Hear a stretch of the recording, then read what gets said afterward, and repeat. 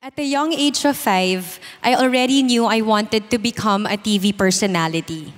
Joining a talent competition gave me an opportunity to enter the entertainment industry. As young as I was, God answered my prayers by allowing me to star in my first ever lead role in a movie at the age of 10. From then on, my career immensely flourished. At the peak of my career, I unexpectedly got pregnant at the age of 22 while unmarried. To avoid damaging my career, my manager then suggested that I fly overseas to have the baby in secret and never admit that I had him. I knew this was not right, so I chose to get married and accepted the end of my career. My decision drastically changed my life's direction. I started questioning God, wondering why me of all people, especially at the height of my career. It felt like a rug has been swept from under me and my life was turned upside down. Goodbye, showbiz. Hello, motherhood in a blink of an eye. Several years later, I lost my first husband to nasopharyngeal cancer when I was 26 years old. This left me struggling to understand what was going on in my life. Suddenly, I am a single mom left to take care of my then four year old son. I didn't know how to recover. I was confronted with another big why, God, why. Out of desperation, I knew God is my only hope. My curiosity led me to attend Christian services to understand who God really is. During this time, I learned to surrender all in prayer and to His will. As I started to seek Him more, I realized that I may not understand what was happening now, but I learned to trust God's character. And that He causes all things, the good and the bad, to work together for the good of those who love Him, who have been called according to His purpose. Knowing Him as my Lord and Savior, I knew He has wonderful plans for me, even if I still don't know it.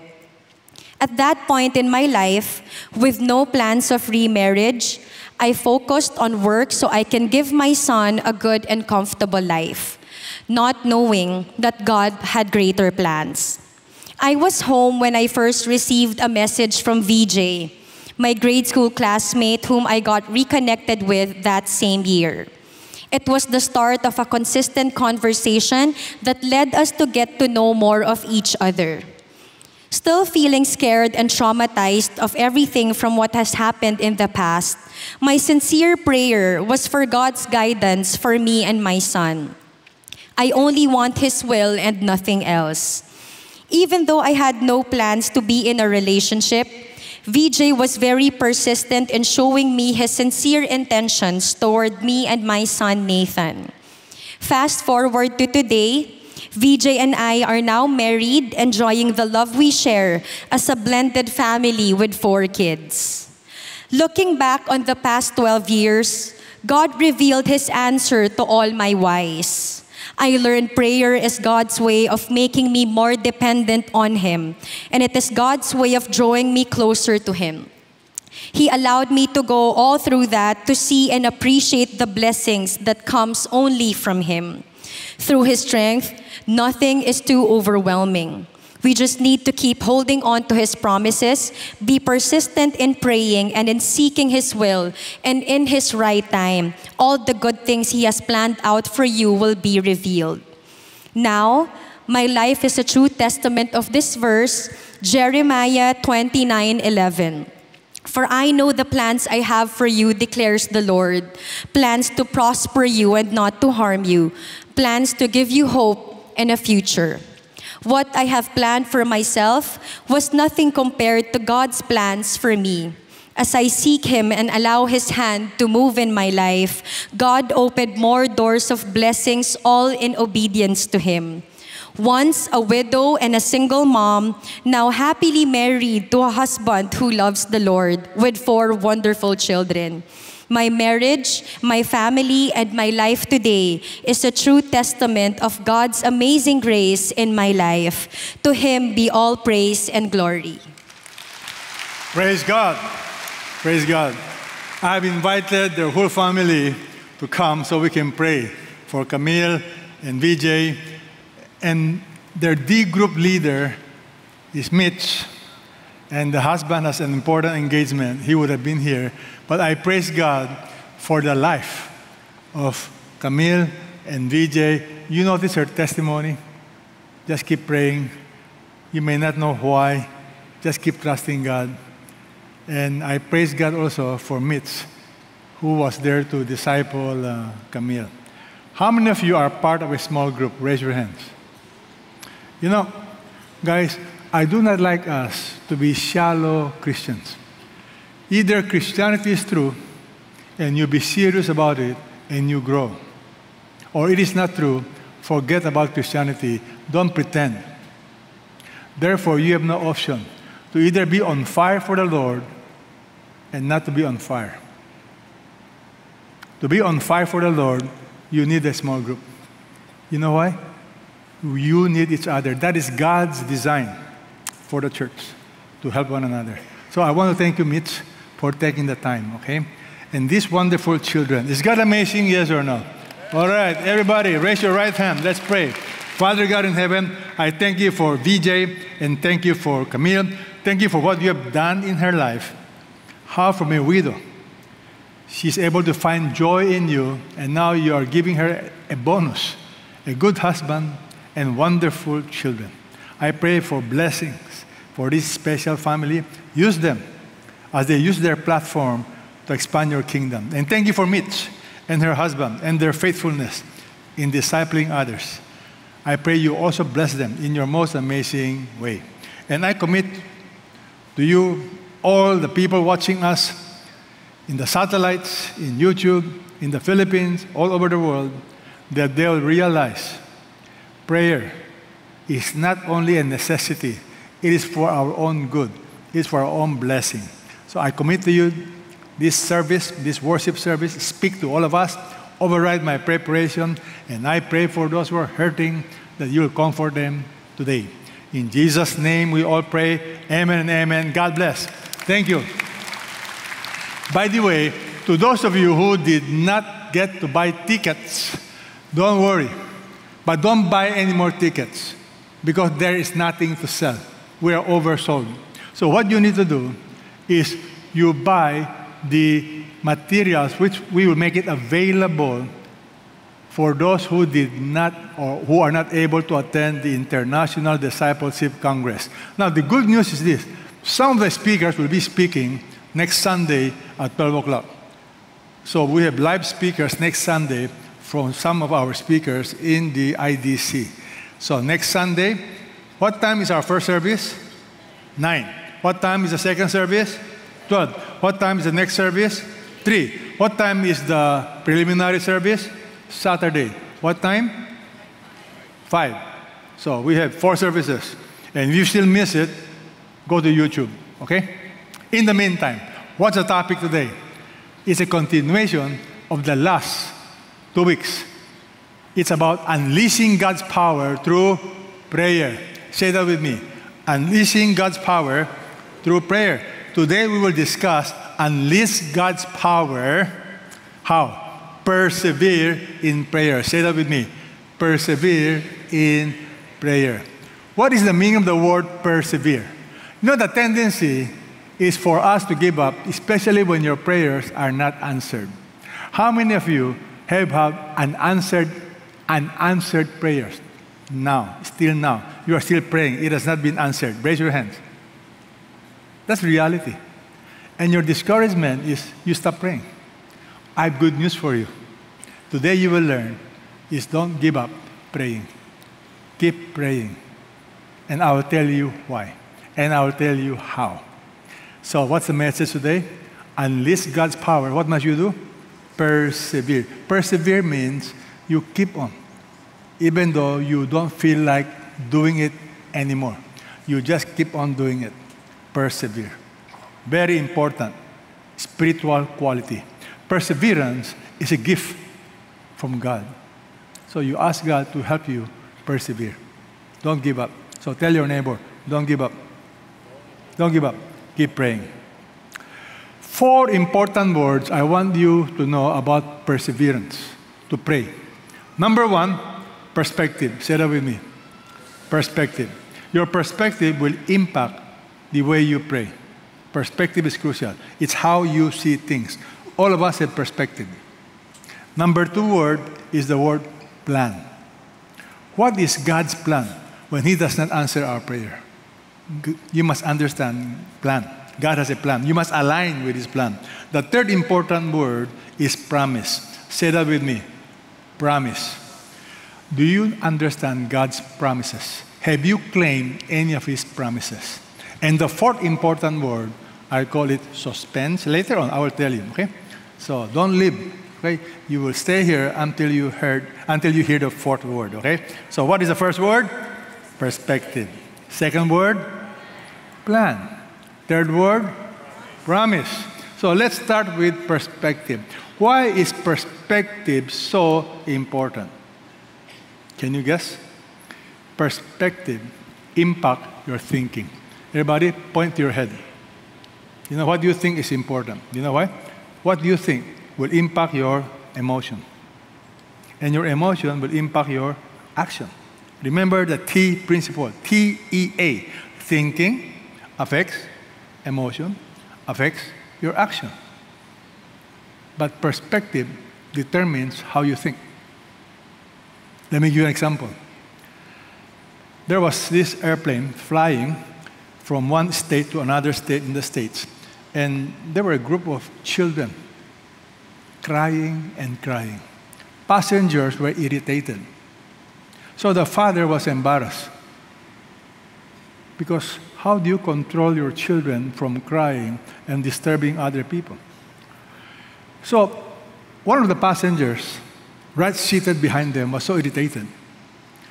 But then the father turned around and explained We just came from a funeral service.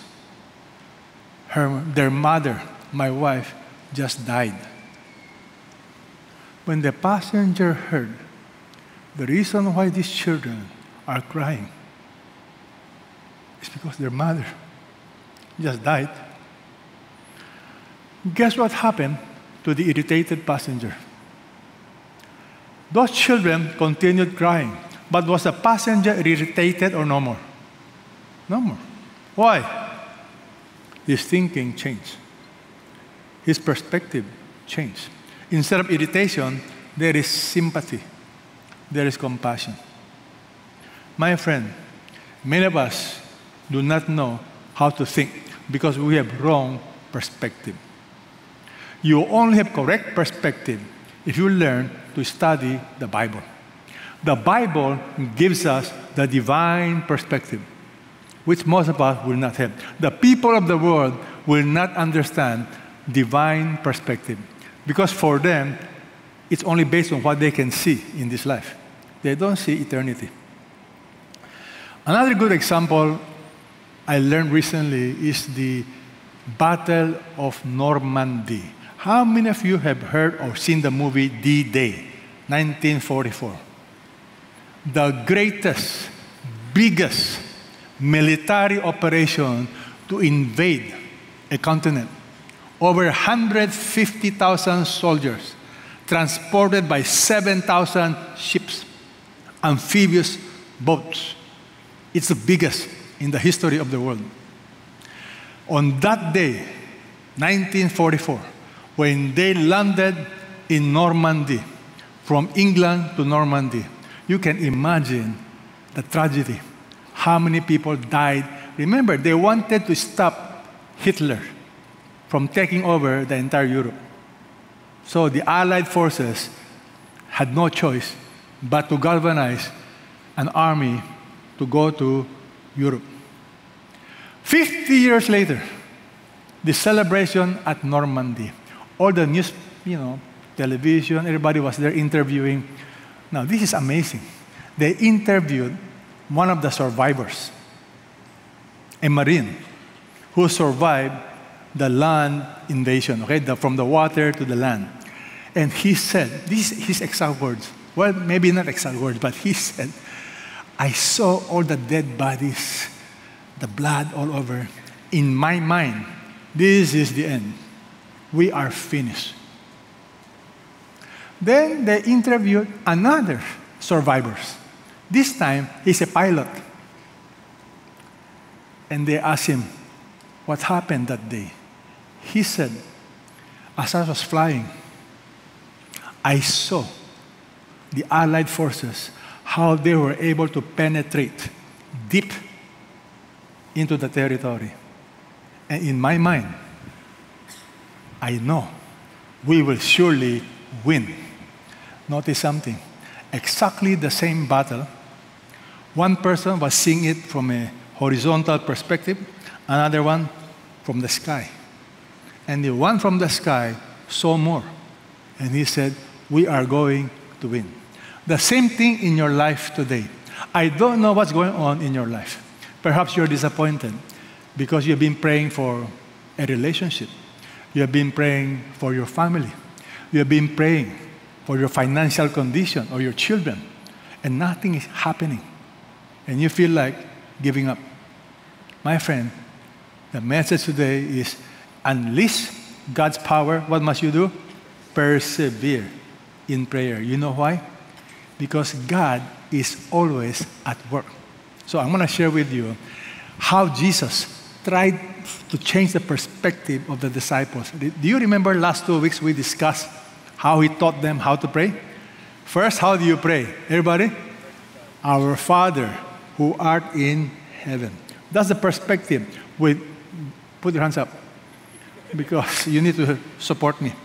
You know, when you pray, Our Father who art in heaven, you are already changing your perspective. You are not praying to somebody who is so busy, who has no time for you. You are praying for somebody who loves you, who cares for you. Okay, sit. Okay, you, you can bring it down. So, our Father who art in heaven, your perspective has to change. Hallowed be your name, your kingdom come, your will be done once you pray that your will be done, it's called you have surrendered all your needs. So the next part deals with your needs, physical needs. Give us this day our daily bread. What else? Forgive us our debts as we have forgiven those who are indebted to us. You are asking now for your spiritual needs, forgiveness. And then you are asking for your future needs. Lead us not into trials but deliver us from the evil one. And then he tells you, if your prayers are not answered, what do you do? So let's read. All right? So read Luke 11.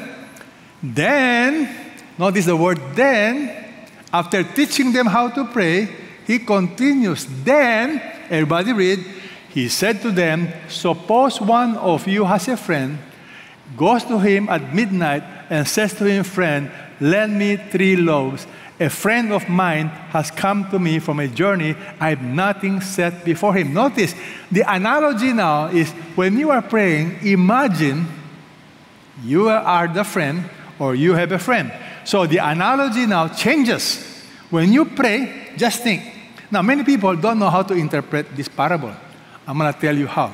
But first, let me explain to you this story. So he's now giving the story of a friend who is arriving in a place to visit his friend, and the friend went to see a friend. Do you notice that word friend keeps repeating? I will give you a hint. He's telling you that God is more than a friend. While the analogy has to do with a friend, asking for help, I want you to know already, right now, the hint God is more than a friend. So, what did this friend do? Well, from inside, he answers and says, Do not bother me. The door has been already shut. My children and, and I are in bed. I cannot get up and give you anything. Now, you may not understand what is he talking about? Because today, many of us live in multiple rooms. In a house, you have two bedrooms, three bedrooms. In the time of Jesus, only one room. You sleep together. The kitchen is nearby, but one room. So for the father to get up, he will wake up everybody. So do you understand the context? Why at night? They usually travel at night Because it is very hot during the daytime. So that's the background. And the guy said, Please, don't bother me. Now the story continues. Then the Bible tells us, I tell you, everybody read down, I tell you, even though he will not get up and give him anything, everybody read, because he is his friend. Ah, because of his persistence. Friend and persistence. He will get up and give him as much as he needs. A father, because he is his father, will have the story changed completely. The father will immediately, of course, do it. But he's saying, he is, God is more than a friend. God wants you to know your perspective when you pray is you are not bothering Him. You can keep on asking, and God is never bothered. Comprende? What's my proof? Let me show you. Look at another parable, Luke 18. Luke 18 tells us he was telling them a parable to show that everybody at all times they ought to pray and not lose heart. Why do you lose heart? You know why you lose heart? Because when you pray and nothing seems to happen, you give up. So he's now telling them a story. Keep praying. Don't lose heart. All right? So tell your neighbor, persevere in prayer. Tell your neighbor, persevere. Okay? You got to persevere in prayer. Don't lose heart. Then he introduced two characters. The first one is a judge, the second one is a widow. Let's find out. In a certain city, there was a judge. Now, this judge is not good, who did not fear God and did not respect man. In other words, walang kwentang judge ito. Nag-antay ng lagay. Okay? There was a widow in that city, and she kept coming to him.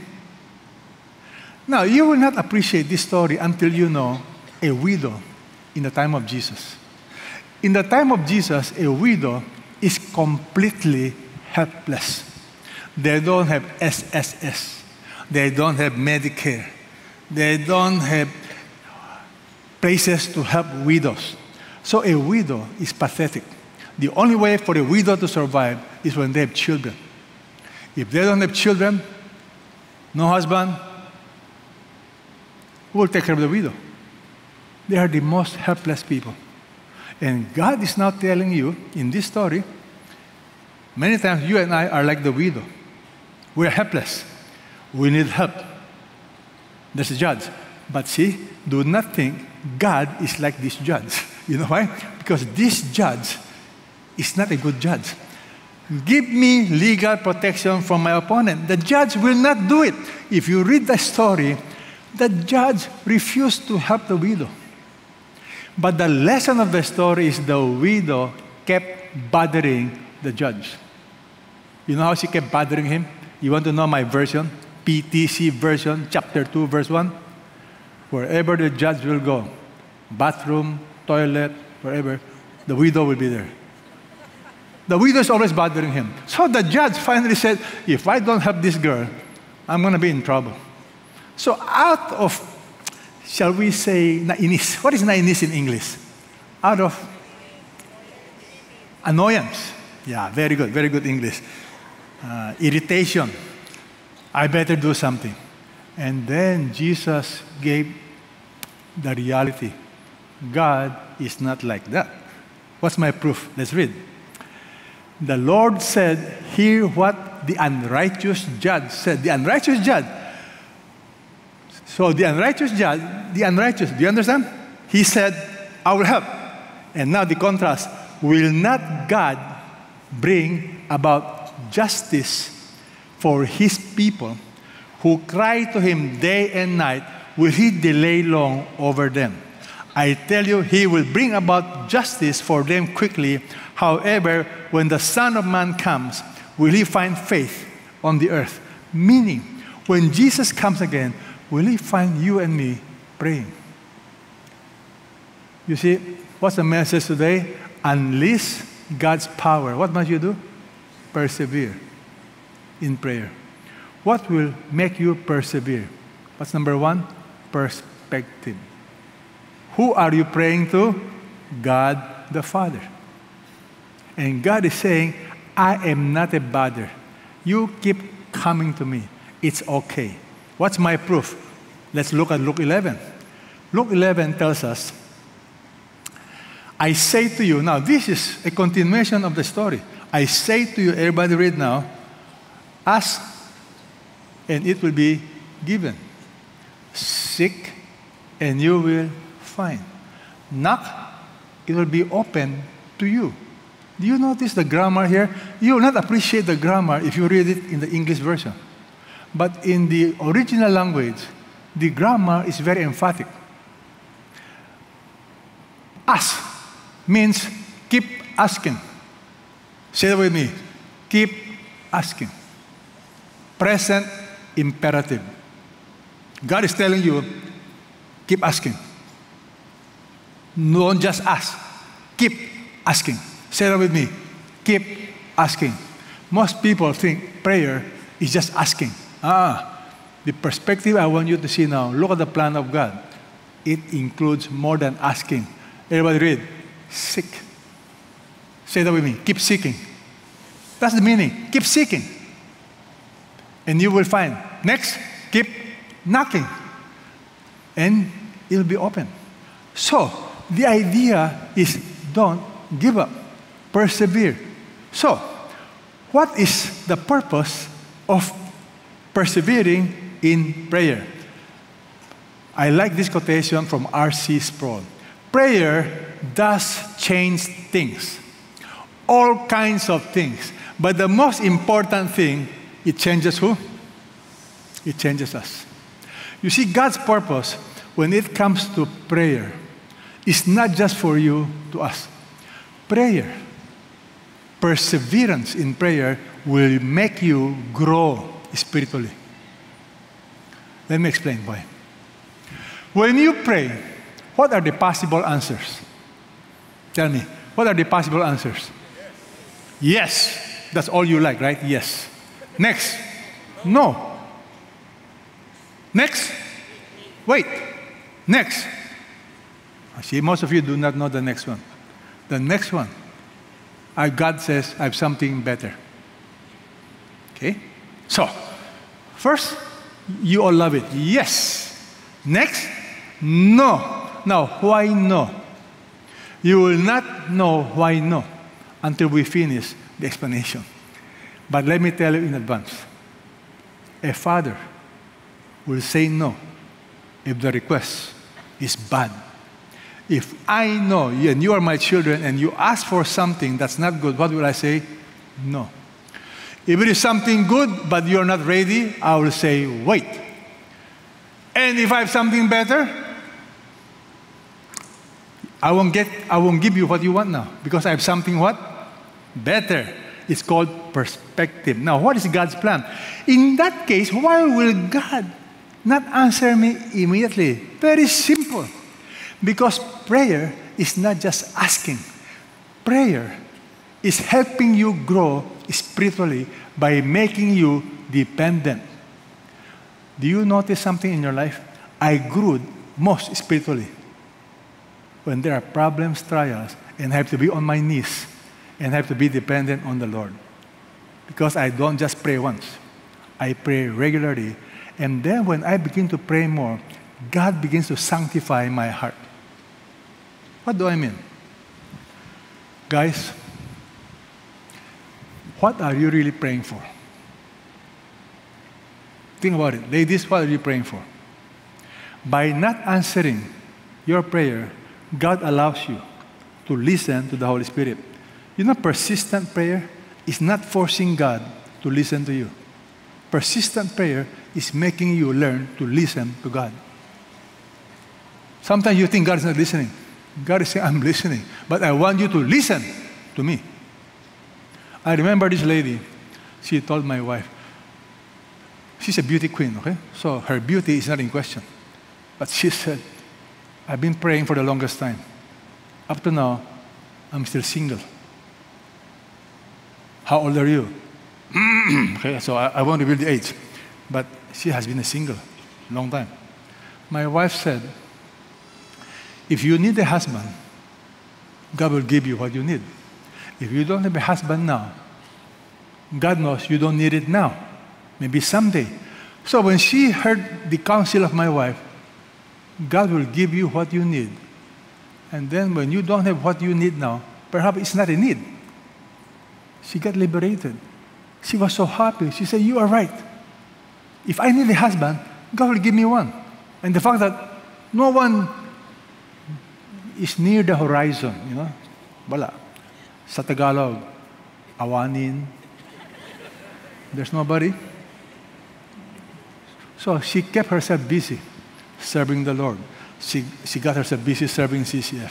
One year later, she came to us and she said, Guess what? God knows. In His time, God provided somebody. Do you know why we know the story? We are Ninong and Ninang. We interviewed even the guy. Approved. Everything's approved. Godly man who serves the Lord. God knows the best time. Amen? Praise God. So, when you are praying and it's not answered, the first thing, perspective.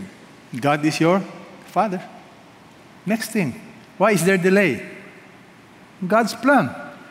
You will not know what is God's plan until you learn to wait and keep praying. What do I mean? Look at Psalm 27. What is God's plan? Many of us think prayer is only asking for things. Ah, read this together. Together. One thing I've asked from the Lord that I shall seek, that I may dwell in the house of the Lord all the days of my life, to behold the beauty of the Lord and to meditate in his temple. Notice that prayer. One thing I ask. You'll be thinking, you'll be asking for things, for position, for power. No. One thing I ask. What is that thing? That I shall seek. Notice, one thing, one pursuit for the rest of my life, all the days of my life. What is that? Everybody read. To behold the beauty of the Lord and to meditate in His temple. See, this is our danger. Christians, don't be shallow. Many of us love the things of God. We love blessings. No problem. But there is something greater than material blessings, than earthly blessings. The greatest blessing of prayer is God Himself. Until you realize how precious, how great, how good God is, you will not have a hunger for Him. And you will not know the beauty and sufficiency of God many times until you lose everything. Let me repeat. You will not know God is sufficient for your life until you lose everything. And then you discover, by losing everything, you discover God is sufficient. You see, many of us have counterfeit gods. When I say counterfeit gods, you look for this thing, you look for this person, you look for relationship to make you happy. Think about it. What are you really praying for? Whatever that thing is, an answered prayer is God's way of examining your own heart.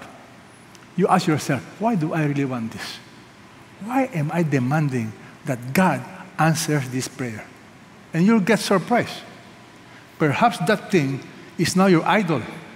You see, the worst sin is idolatry. Anything that takes the place of God in your life. It can be family, nothing wrong. It can be children, nothing wrong. It can be relationship, nothing wrong. Except when that thing becomes more important than God, that thing has become your idol. And your idol is guaranteed to disappoint you. Idols will never be able to fulfill its promises. Only God can fulfill the dreams of your life. Only God can truly satisfy. Amen? The context of this prayer will be amazing if you know the history of this. You see, David prayed this prayer. But you know, what is the background of this prayer? Look at verse 3. The verse before verse 4 is verse 3. Let's read verse 3. Though a host encamp against me, my heart will not fear. Huh. Though war arise against me, in spite of this, I shall be confident. You know what David was saying? David was praying this prayer in the midst of danger, in the midst of war. What was his prayer? One more time, let's read. One thing I've asked from the Lord.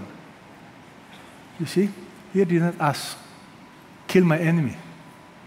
He did not say, fulfill your promise in my life. See, God gave David a promise when he was a teenager. Can you tell me what was that promise?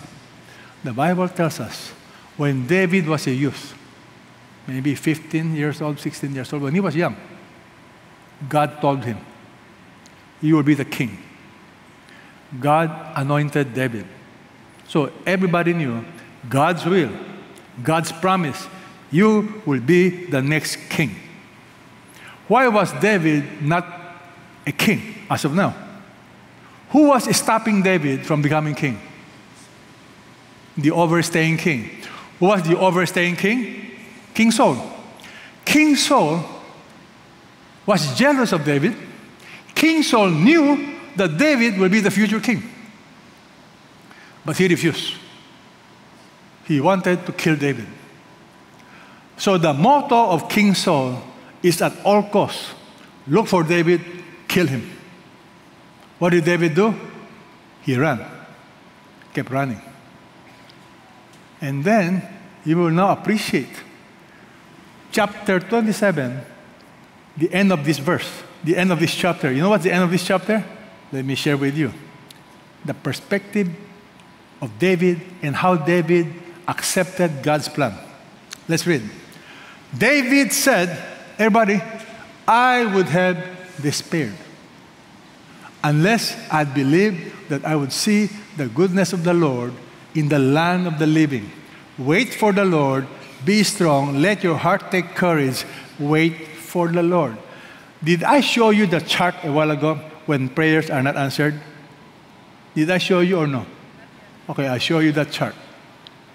If you don't understand God's perspective, you don't understand God's plan. This is what will happen to you. If prayers are not answered, you get disappointed. David could have been disappointed. You promised me the kingdom. The kingdom. I'll be king. It's not happening. You get discouraged. When you get discouraged, you be careful. You get disillusioned. And worst of all, you are in despair. You give up hope. You know, some people have left Christianity because they have never been a Christian in the first place. They have never understood theology. I'm warning you, in the face of disappointment, the tendency is you get discouraged. And when you get discouraged, the tendency is to be disillusioned with God. You will say, Is God real? Is it worth it? I'm going to tell you right now correct your perspective. Because if prayers are not answered, God has a wonderful reason. So look at David's prayer in Psalm 27. What did he say? I would have despaired. I would have despaired. Notice, I would have given up hope. Unless, unless what? Let's read. Unless I believe, I will see the goodness of the Lord in the land of the living. Many people over spiritualize the Bible. You over spiritualize. You think all the promises are all about future. You think all the promises are all about spiritual blessings. Yes, but it's more than that. Do you believe God wants to bless you? Yes or no? Does that include material blessing? Louder. Ah, you need now to a proper theology. I am not advocating prosperity theology. Name it, claim it. Lord, I want a Mercedes Benz. Boom. Oh, where's the Mercedes Benz? Oh, sige. BMW na lang. Lord, you see, I'm not teaching that, but I'm saying God promised to bless you, yes or no. Now, whatever that blessing is, I tell you, many times it includes provision for your body, not just your soul. That's why we studied this last week, remember? Seek first his kingdom and his righteousness, and what? And all of these things will be added unto you. But you got to have the right perspective. Why is God delaying? Well, the reason why God is delaying, can I tell you why? Because delays is God's instrument to mold your character. It is God's ways of transforming your character. And let me repeat God will sacrifice your character, your comfort, for the sake of eternal good. So, what must you do? Everybody read. Together. Together. Wait for the Lord. Be strong. Let your heart take courage. Yes, wait for the Lord. How many of you like waiting? Raise your hands. You're the few exceptions, supernatural people. How many of you don't like waiting? You ask all the husbands. All the husbands. I learned waiting when I got married. You know why? Once you get married, husbands, the first thing you will learn is learn to wait. How many of you husbands identify with what I'm saying? Raise your hands. Let your wife see your hands so they'll know. You know why? Listen to me. I've learned that I'm very impatient. And I'm learning. Patience. You know, God wants you to learn to wait upon Him. By the way, ladies, I want you to try to improve your English language. When you tell your husband you are ready, you better mean it. I'm ready. Because for the men, ready means ready. But for a woman, ready has many meaning. Ready can mean I'm ready to put on my makeup. I'm ready to whatever. For us men, ready means what? Go. No. Ah, forget it. Men, learn to be patient. But the hardest patience is this waiting on the Lord. You know why you need to learn to wait on the Lord? Because your character is being transformed. Waiting. David learned to wait. God promised him, You will be king. But he did not become king. Can I tell you why? Because God's plan is David, I need to mature you. A teenager cannot become a king. That will be disaster. You need to learn what is the meaning of justice. You, you need to go through hardship. You need to go through a lot of spiritual training. David went through a lot of hardship. But notice what he said. Everybody read together. Wait for the Lord. He waited.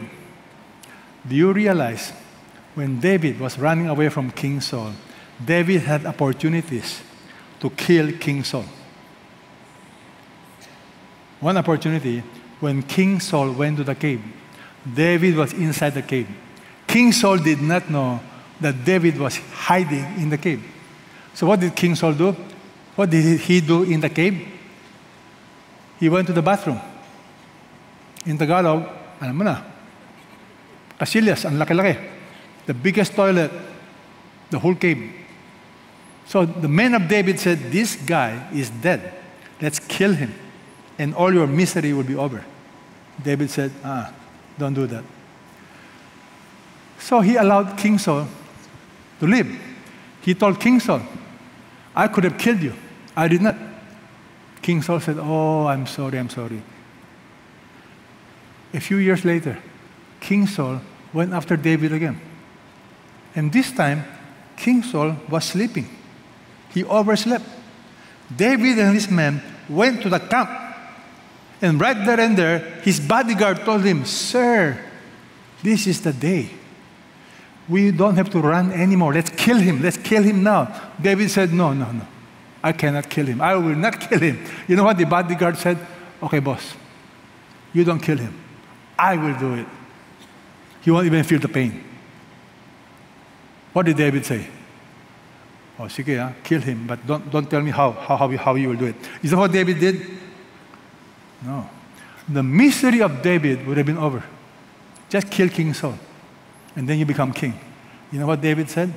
Remember, delays are always God's instrument in molding your character.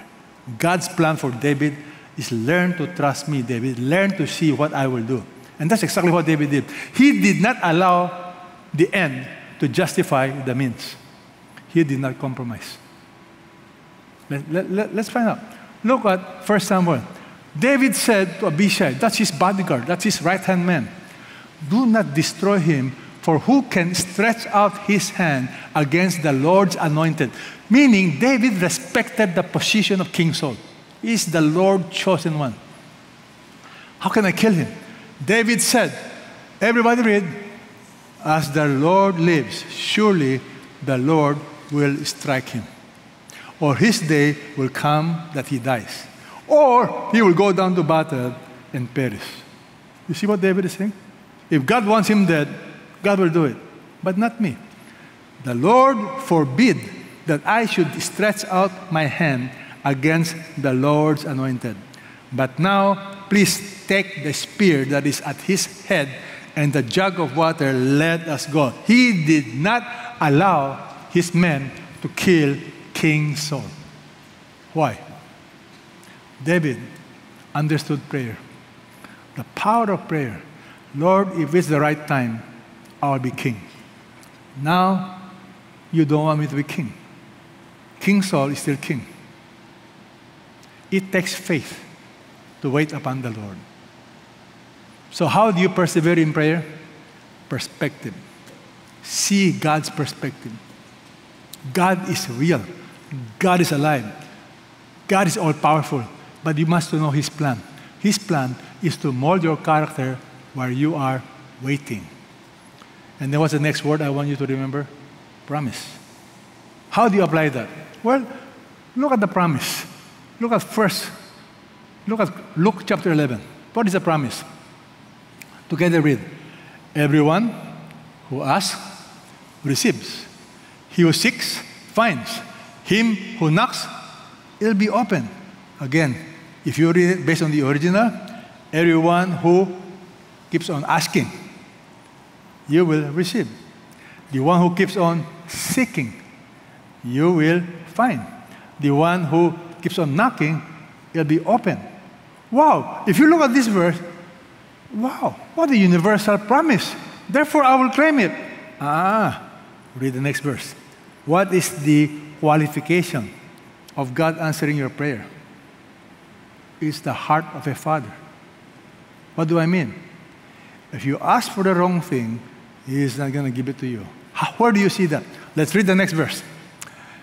Now, suppose one of you, fathers, the analogy now, go back from a friend to a father, is asked by his son, father and son, father and child relationship, for a fish.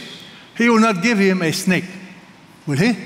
In other words, God is saying, if you ask for a fish, I will surely give you a fish, not a snake. Vice versa. If you ask for a snake, I'm not going to give it to you. It's bad for you.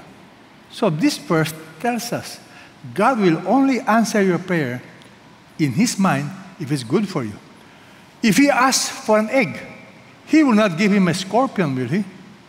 See, ladies, many of you are single and you like God to give you the desire of your heart, which is Mr. Charming.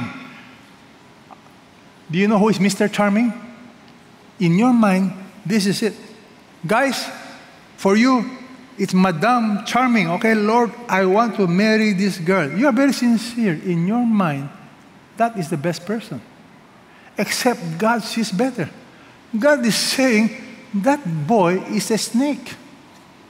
Why will I answer your prayer? You want to marry a snake? Gentlemen, you want to marry a scorpion? That's the problem. So God will not answer your prayer when your request is a scorpion or a snake. It's not good for you. God will say, No, I have something better. Therefore, Everybody read. If you then, being evil, it's a comparative statement. Human beings, compared to God, we are not holy. If you then, being evil, know how to give good gifts to your children, everybody read, how much more will your Heavenly Father give the Holy Spirit to those who ask Him? In the book of Matthew, same thing, how much more will your Heavenly Father give what is good to those who ask Him? Now, I began to meditate on this verse. Why did He mention the Holy Spirit? Can I tell you why? Because the Holy Spirit is the greatest gift that God can give you. Let me repeat the Holy Spirit is Jesus Christ Himself. Once you have the Holy Spirit, you have everything.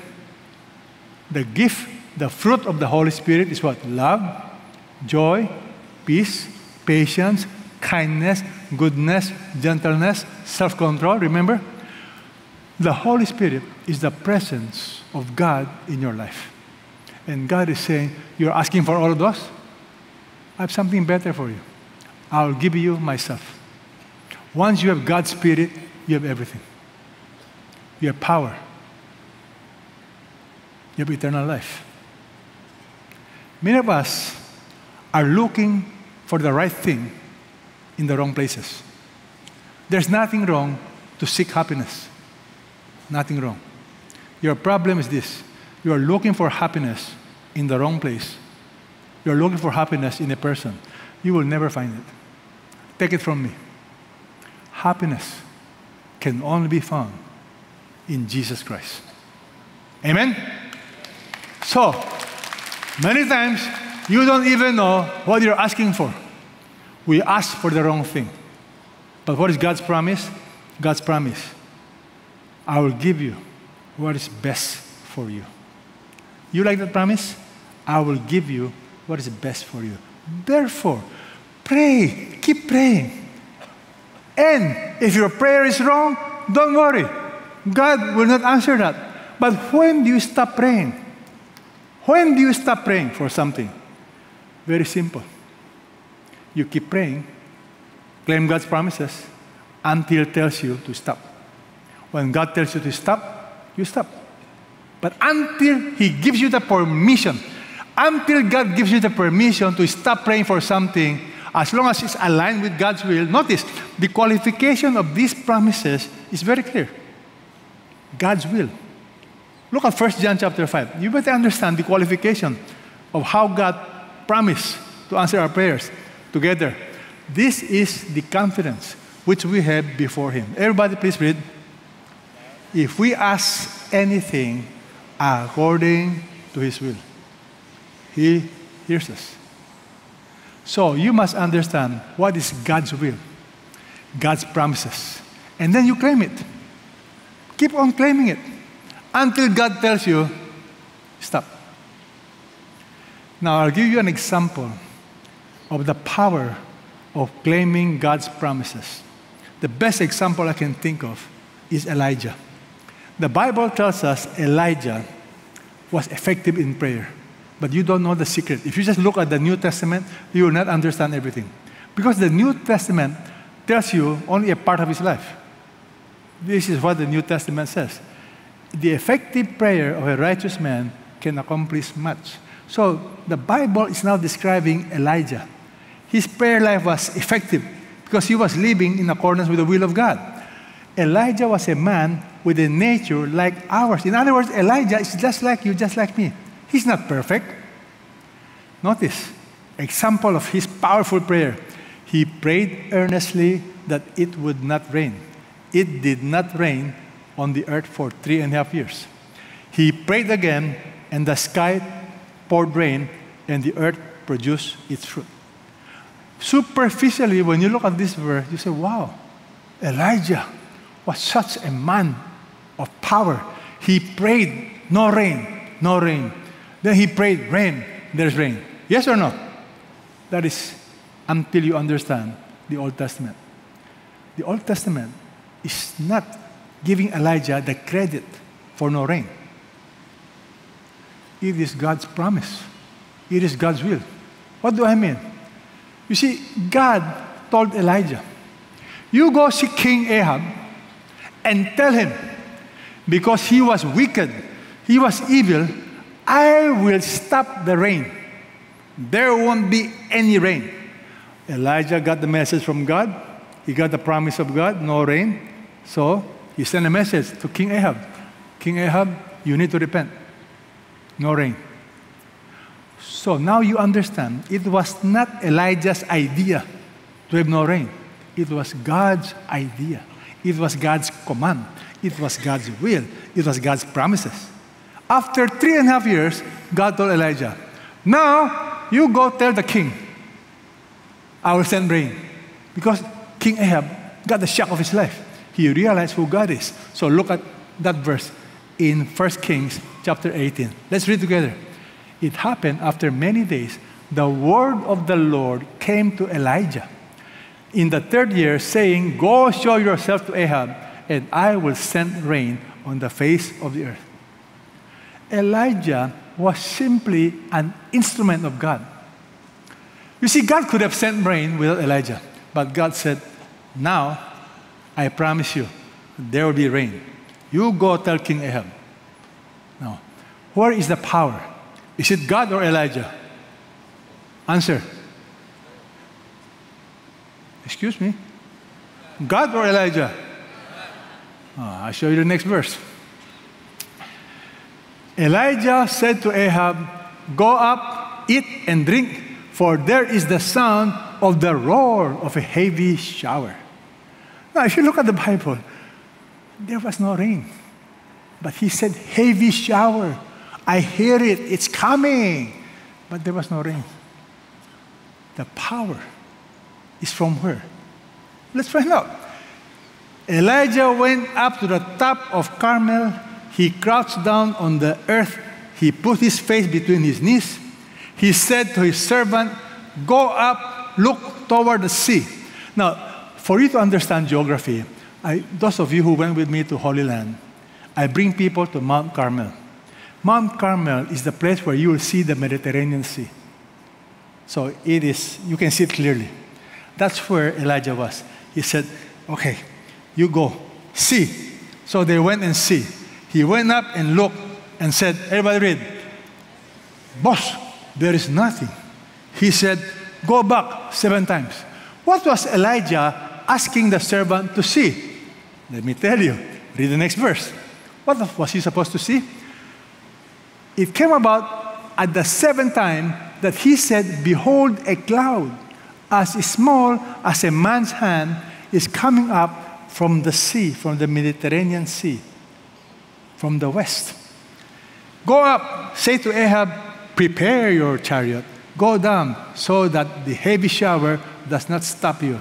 In a little while, the sky grew black with clouds and the wind, and there was a heavy rain. So, question Can God send the rain without Elijah? Answer Of course. So, why? This is theology. You now understand the privilege of God's people. God is allowing Elijah to become his partner in accomplishing his task. Just like you, just like me. God wants you to be prayerful. Not because you have power, but He's giving you the privilege of partnering with Him. God unleashes His power when you persevere in prayer. It's a mystery. It makes me cry. You know why? Because God does not need me. Do you know God can use a monkey to preach? Yes or no? Yeah.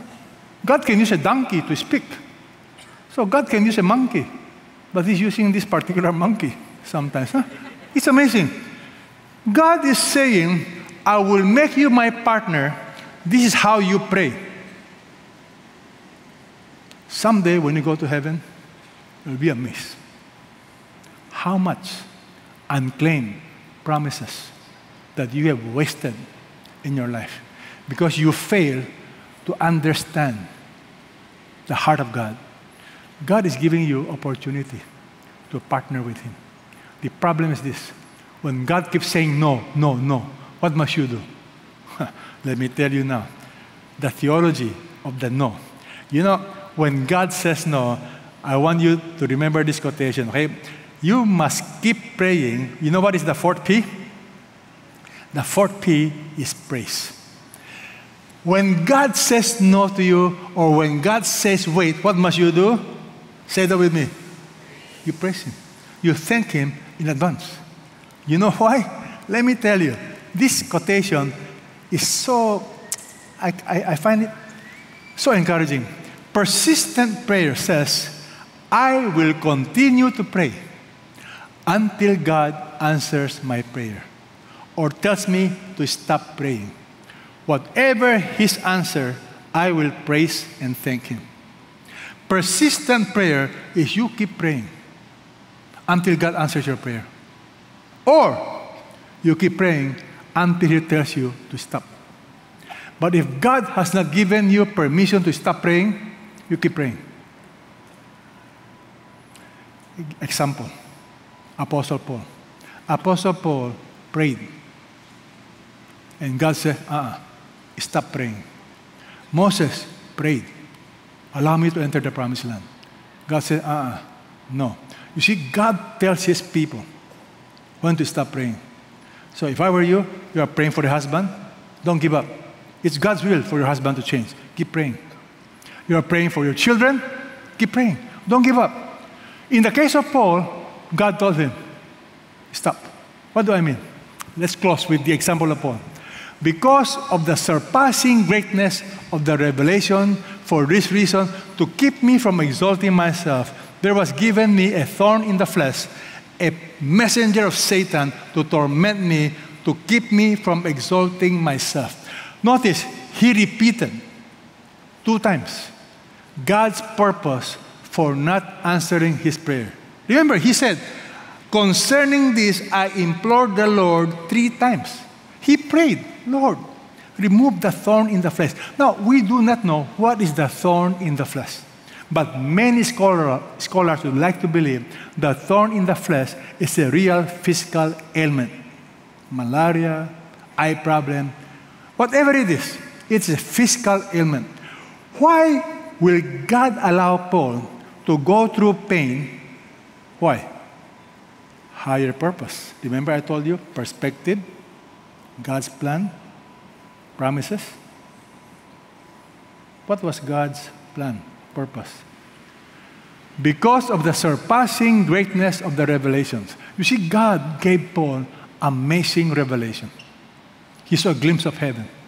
And Paul said, It was so beautiful, I cannot write it down.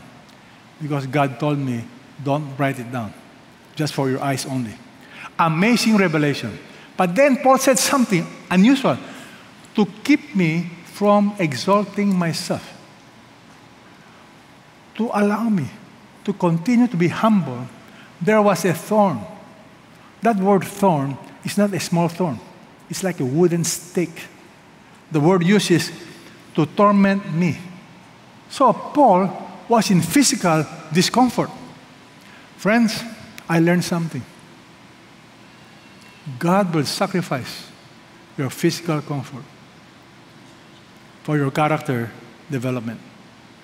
God cares more about your eternal good than your physical comfort. That's why God allowed him to go through pain, to keep me from exalting myself. In the eyes of God, humility is a greater blessing than physical comfort. In the eyes of God, grace is more important. Read the next verse. Because he has said to me, everybody read, My grace is sufficient for you. Power is perfected in weakness. Most gladly, notice, he began to praise God. Most gladly, therefore, I will rather boast about my weaknesses so that the power of Christ may dwell in me. When I am weak, I am well content with weakness, with insults, with distresses, with persecution, with difficulties, for Christ's sake. Everybody read, when I am weak, then I'm strong. Pray. When you persevere in prayer, you unleash what? God's power. You unleash God's power when you persevere, when you surrender, and when you say, Lord, I thank you in advance for the no. I thank you in advance for what you will do. Are you able to praise God right now? If you are praying for something that God hasn't answered, you thank Him right now. Amen? So begin to say, Lord, I thank you. For all your uh, answered prayers, you thank Him. One of my favorite verse is found in Psalm. The book of Psalm tells us, 34 verse 10, together, Oh, taste and see that the Lord is good. How blessed is the man who takes refuge in him. Ladies and gentlemen, is the Lord good? Yes or no? Some of you don't know. You will not know if honey is sweet. You can only hear from people honey is good, honey is sweet, but you will not know until you taste it. Many of you have heard about God. Yeah, God is good, but for you, it's secondhand information. Today, I'd like you to change. You'll only persevere in prayer when you believe in your heart that God is good. Notice, taste and see that the Lord is what? Good. Can you turn to your neighbor? Tell your neighbor, the Lord is good. The Lord is really good. I'm telling you now, taste and see. Many of you have not tasted the Lord. You hear about it. You have religion, but you have no personal encounter with God. That's very sad. Life is too short to miss out on God's best. Notice, he says, the young lions lack and suffer hunger. But look at the condition. They who seek the Lord shall not be in want of any good thing. Here's a promise. Condition. Seek God. Prioritize Him. And the Bible promises you, you will not lack what? you will not want, you will not be in lack of any good thing. Is God good? Yes or no? Does God want to bless you? Yes or no? Louder. Okay, praise God. Tell your neighbor, God is good. Because God is good, what must, what must you do? Persevere in prayer. The answer can only be as follows No. Why no? I have something better. Wait. Why wait? You are not ready. You see, David was not ready to receive the kingdom. The Apostle Paul was given something better. In exchange for physical pain, I will give you grace. In exchange for physical pain, I will give you power. And you know, in light of eternity, you can say amen. What you have for me is much, much better than what I will have in this world. The longest time you will have in this world is 100 years. 100 years from now, let me tell you something. All of you will not be here anymore. Yes or no? Where will you be? Just make sure you are there. How can you be sure you are there? You ask yourself, do you know the Lord? Oh, taste and see that the Lord is good. And how do you know you know the Lord? Your prayer life. Let's bow our heads and pray. If God has been speaking to you, and today you want to accept Jesus as your Lord and Savior, you want to really taste and see that the Lord is good, pray this prayer with me. Wherever you are, you pray this prayer Lord, I want to experience your goodness. I want to really know you. I now ask you, Jesus, to give me a heart of humility. I repent of my sins. Like the Apostle Paul, Lord, I accept whatever is your will for my life. And I thank you in advance for all that you will do in my life, through my life. Oh Lord, thank you. You are good. I now receive you as my Lord and my Savior. I surrender all. I surrender my prayer requests. I surrender my own desire. I only want you, Lord Jesus. Help me to develop a real appetite and a love for you. In Jesus' name we pray. Amen amen. God bless you.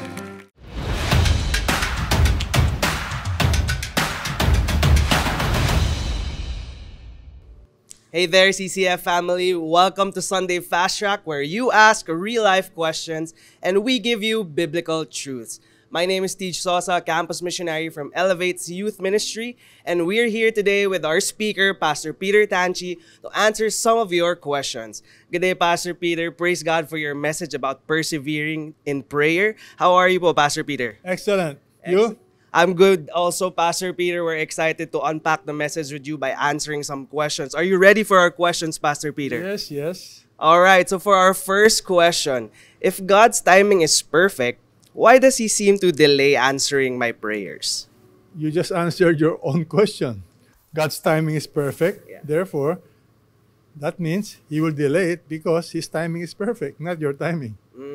Yeah, that's right, Pastor Peter. I believe we need to trust that God's timing is always perfect, dependence on the Lord. For our second question, is there a difference between persevering in prayer and praying repetitive prayers? I think there's a big difference. Repetitive prayers is like what we are used to when you memorize prayers. You just repeat it again and again, trying to convince somebody or tire them out. That's repetitive. But persevering prayer can also be silent. You just come before the Lord. God knows your heart, and you express your heart to Him. So I would say persevering prayer has to do more with the heart than with the mouth. Praise God. God really knows our hearts. So sometimes our prayers can be silent, but God still hears the prayers of our heart. Praise God for that, Pastor Peter. For our last question, how can we encourage our brothers and sisters who may be starting to get tired or grow weary in their prayer life?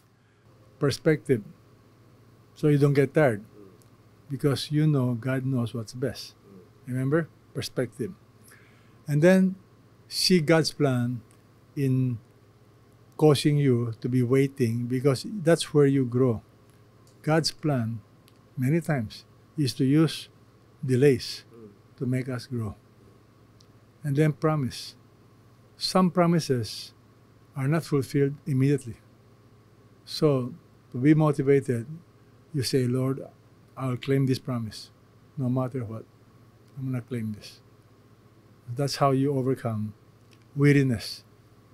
You have to start with your perspective, align with God's plan, claim His promises, and last, if not the most important, you express that faith by thanking Him.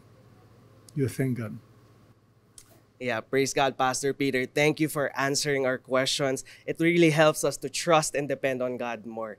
But before you go, if you are a student or a young working professional looking for a community to grow with, we'd like to invite you to our Saturday night service or SNS every Saturday at 5 p.m. here at the CCF Center. And if you are a student and if you want to be part of a community and to take part in making an impact for God in your campus, visit the Elevate Main Facebook page to know more about how you can get involved. We're excited to see you here, and that's it for CCF Sunday Fast Track. God bless. God bless.